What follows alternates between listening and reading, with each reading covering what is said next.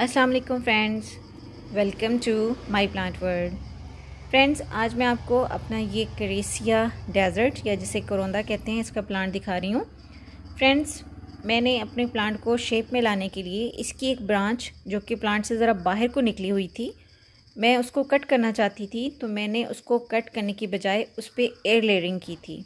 और ये देखें, ये है वो ब्रांच जिस पे मैंने एयर लेयरिंग की थी।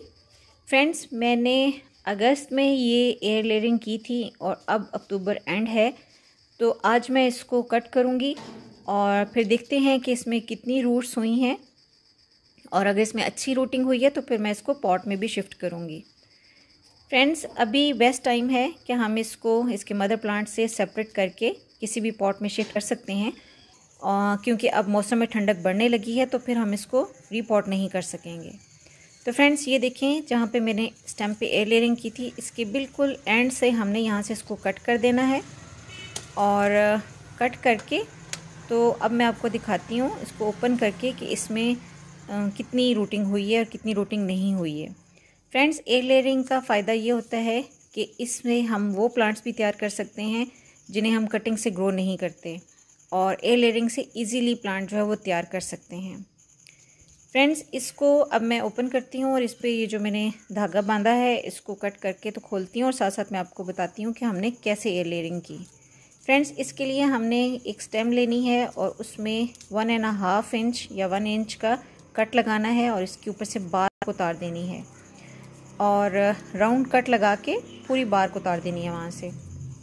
उसके बाद ये देखें, बिल्कुल इस तरह से साफ़ हो जाए उसकी बार। और उसके बाद हमने इसके ऊपर जो छुरी से खुरच के इसकी जो कैम्बियम लेयर है, उसको भी साफ़ कर लेना है। और इसके बाद डैम्प कोकोपीट पीट मॉस या फिर जो नॉर्मल गार्डन सॉइल होती है, उससे इसको कवर करेंगे हम। फ्रेंड्स कोकोपीट को या पीट मॉस को हमने इतना गीला करना है कि निचोड़ने पर सिर्फ़ एक से दो पानी के ड्रॉप्स ही उसमें से निकलें।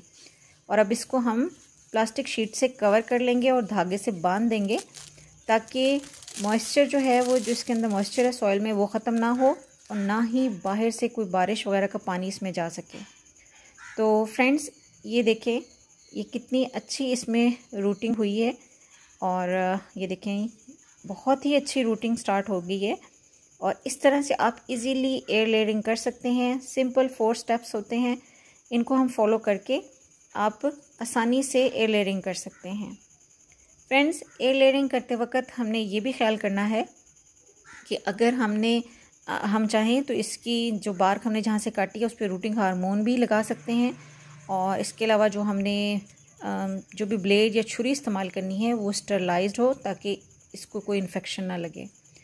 और फ्रेंड्स, इसको अब मैं इसमें सॉइल में शिफ्ट करूँगी और ये मैंने पॉली बैग में एक सॉइल ले रखी है। ये बहुत ही अच्छी सॉइल है इसमें काफ़ी सारी पत्तों की खाद शामिल है और मट्टी शामिल है और इसी में मैं इसको अब ग्रो कर दूँगी।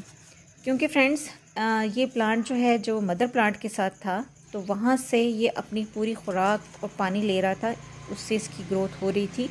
लेकिन अब हमने इसको कट कर दिया है तो अब हमने इसको ऐसी सॉइल में ही शिफ्ट करना है, जहाँ, जिसमें काफ़ी सारे न्यूट्रेंट्स हो, ताकि ये प्लांट अपनी फिर ग्रोथ कर सके। और अब इसको इंडिपेंडेंटली खुराक चाहिए। तो फ्रेंड्स इस तरह से मैं अभी इसको सिर्फ़ इस पॉली बैग में ही शिफ्ट करूँगी और उसके बाद प्लांट जब थोड़ा सा स्टेबल हो जाएगा तो फिर इंशाल्लाह फेबररी में मैं इसे किसी प्रॉपर पॉट में शिफ्ट कर दूँगी, ताकि फिर उसमें उसकी अच्छी ग्रोथ होती रहे। फ्रेंड्स एयर लेयरिंग का फ़ायदा ये होता है कि हम इससे एक नया प्लांट जो है वो जल्दी से और बड़े साइज़ का हासिल कर सकते हैं और उसमें वो तमाम खसूसियात होती हैं जो कि पेरेंट प्लांट में होती हैं। और आमतौर पर एयर लेयरिंग जो है, वो फ्रूटिंग प्लांट पे की जाती है, क्योंकि अगर फ्रूटिंग प्लांट एक साल का है तो उसकी जो हमने एयर लेयरिंग कटिंग की है तो उस पर भी एक साल की ही फ्रूटिंग आना शुरू हो जाएगी। तो फ्रेंड्स ये थी कुछ एयर लेयरिंग के बारे में इंफॉर्मेशन होपफुली आपको अच्छी लगी होंगी। Thanks for watching